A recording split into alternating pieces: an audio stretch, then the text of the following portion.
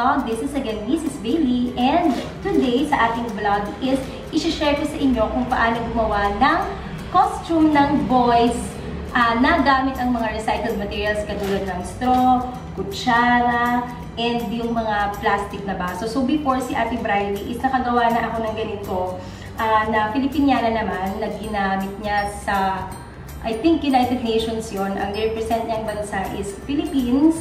So naisip ko noon para medyo may twist naman ng konti sa normal na Filipiniana. Ang ginawa ko is uh, gumawa ako ng parang flag. Yung theme niya kalahating red, kalahating blue, and then yung top is white. And then uh, yung pinaka-tela niya is pinalibutan ko ng kutsara na ganito. So, yon And then yung pinsan ko ngayon, yung pamangkin ko sa pinsan, is sasali siya ng Mr. Fashionista sa kanila.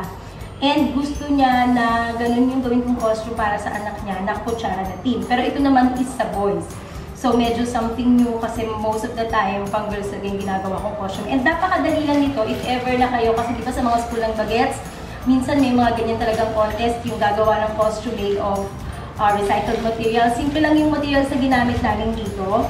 Uh, yung straw lang, make sure lang na yung straw na gagamitin is yung medyo matigas, yung parang medyo ginagamit siya sa mga Jollibee, sa mga fast food. Hindi yung malambot na katulad ng mga ginagamit lang sa soft drinks kasi medyo mahirap yung idikit gamit yung glue gun.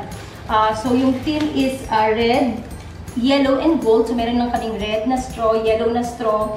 And then, syempre, ang bida ng paggawa ng costume, ang Bosnia Spray Paint. Mga 100 pesos lang naman ito uh, sa mga hardware o kaya sa Ace Hardware. And then, ang ginawa lang namin is ito talaga yung literal na kutsara na ginagamit natin sa mga party, yung mga plastic spoon.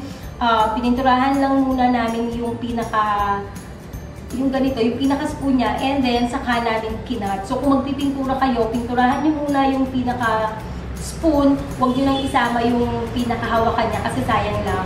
And then, mas maganda saka niyo siya ikakat kapag nakapintura na siya. So magiging na siyang ganyan. And then, uh, ito lang, yung flower. Uh, ito kasi is parang magsisilbi itong parang Captain America. Yung parang ganyan siya. Uh, gawa lang ito sa Velcro. So, nag-slice lang kami dyan gamit ang cutter. Tapos, papasok mo lang yung Velcro through and through para merong hawakan yung bata. And then, yung design lang niya is, ito is yung mga cup ng plastic bottle. Mga takip siya ng plastic bottle na tininturahan lang din namin siya ng, uh, ng gold. And then, itong red na part na to is gawa lang siya sa baso ng taho. Yung plastic cup na pinakamaliit. Huwag yung plastic Huwag yung plastic cup na malaki, pero depende rin sa style na gagawin nyo. Ito kasi, sakto na siya panggawa ng parang flower.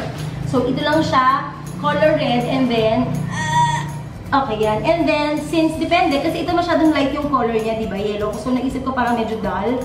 Kaya, uh, nilagyan namin siya, pininturahan namin siya ng color red na spray paint. Then, syempre, ng Bosni. Ito yung pulang Bosni. And then, uh, kinat lang siya, cut-cut mo lang siya, para pag binuka mo siya, magiging na siyang parang flower, ganyan. And then, uh, yung pininturahan namin na uh, plastic bottle is dun namin nilagay sa gitna dito. Uh, for example, ito. Ayan, lalagay mo lang siya ganyan. So, depende kung ano yung theme nyo. Kung halimbawa, pwedeng green and red or kahit anong color combination, dapat lang iba yung color ng pinaka-petals, iba rin yung color ng pinaka-gitna para syempre magkaroon siya ng konting accent.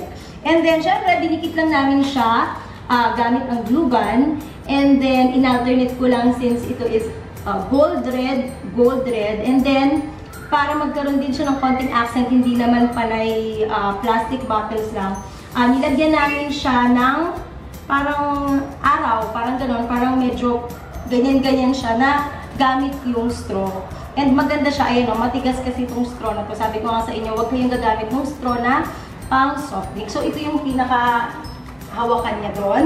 And then, dito sa pants naman, uh, ang ginawa lang namin is, ito is lumang pantalon na, or pwede rin kayong tumahin ng inyo. And then, in-spray paint ko lang siya Uh, kasi black yung original color ng pants. Para lang kapag dinikit mo yung kutsara, and then may mga spaces siya, pangit kasi kung magiging black, dapat uniform yung color. And then ito, uh, straw rin yung ginamit namin, same dito. Uh, red naman ang ginamit dito kasi gold na yung color. Ah, nagawa lang kami ng parang medyo paliit, palaki, paliit. Para lang medyo may design yung baba ng pantalon. And then, same lang din dun sa ginawa namin dito, yung flower, kasi parang ito yung pinaka-gitna niya, parang lahat medyo may uniform na theme. And then, ayan ulit, uh, nag-paste lang din, nagdikit lang din kami. Lahat to is dikit sa glue gun kasi minsan may mga nagtatanong, if pag tela ba, gagana ang glue gun. Oo, gagana talaga siya, plastic to tela. Subok na subok ko na yan, hindi yan natatanggal. And then, ayan, uh, naglagay lang din ako dito ng uh, plastic cup bottle, yung takip ng bote. And then yun, ang gagawin ko lang dito is, uh, pupunuin ko lang siya ng mga kutsara hanggang sa makarating siya dito. And then, meron akong ginawang belt. Ito. Actually, si Ate Jay nagtahin ito. Oopsie. Ayan. So, itong belt na to is para lang magka-accent siya. Kasi medyo nakulangan na kami sa kutsara. So, naisip ko, marami kaming straw.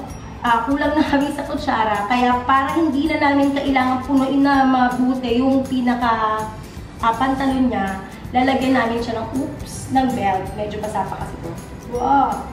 Medyo pasapa to, pero ganyan nang magiging itsura. Tutok mo daw. So, ganyan lang siya. Yan yung magiging belt niya. Ganyan.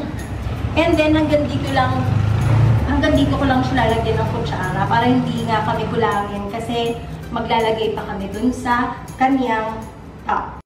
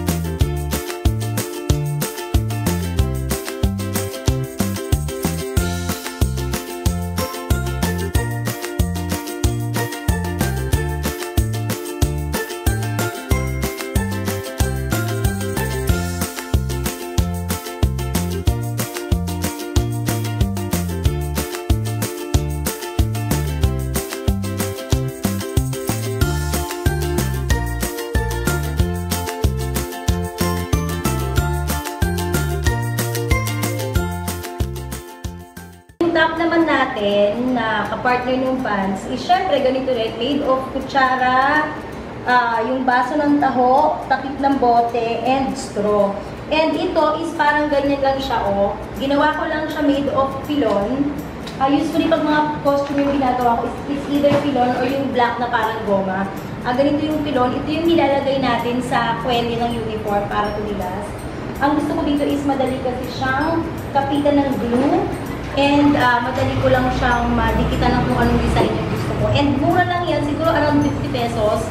Uh, maraming marami na yan, malaking malaki na yan. Sa Divisoria ako bumibili niyan, pero hindi ko lang alam kung sa ibang mga public stores sa mall ay meron. So, uh, kinat ko lang siya sa shape ng head ni Ate Bridie.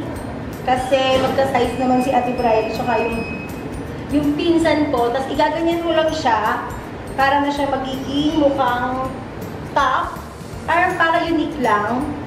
And then, um, yung design lang niya is straw lang ulit na parang katerno din dun sa pants. Di ba may straw na nakaganon. And terno din dun sa kanyang panlagay sa hands. And then gold na spoon lang. And then halos ganun pa rin yung tema nung pinaka-ano nila. And pininturahan lang namin ng ano, yung pinaka-pilon. Kasi pangit nga kung walang pintura dahil yung mga space na Halimbawa, yung sa kutsara, may mga ganyang space. Mas maganda talaga kung ano yung theme mo, uh, spray paint mo na lang din yung pinaka-pilon para maganda pa rin siyang tingnan kahit may mga space. So, next naman is yung ating belt. Uh, ano lang din to, yun nga yung sinabi ko kanina, straw lang din to. Ito naman is straw na matigas and then may ka-alternate na straw na malambot. At inahilan siya and then Glinugan ko lang siya sa velcro. Ay, sa velcro, sorry, sa, ano tawag dito? Pilon. Sa pilon, sa pilon. Uh, glue gun lang din ang ginamit dyan. Uh, ganyan siya baling magiging itsura niya. And then, yung pinaka ganito niya, kasi ito yung ikakabit mo na ganyan para sa belt. And then, lalagyan na lang ng velcro sa dulo. And then, ito is lalagyan ko na lang ng uh, takip ng boting plastic dyan para hindi naman kita yung pinaka-white ng pilon.